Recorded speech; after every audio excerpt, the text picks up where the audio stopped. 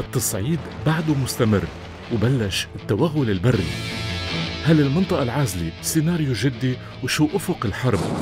تداعية الاغتيال على الداخل اللبناني بعدها مضبوطة هل متجهين لتسوية أم تأزم وتصعيد داخلي؟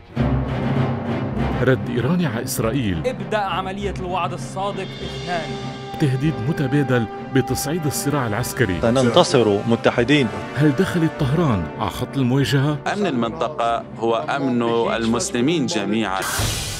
ضوء أخضر دولة لإسرائيل. هل وسطات وقف إطلاق النار؟ جدية؟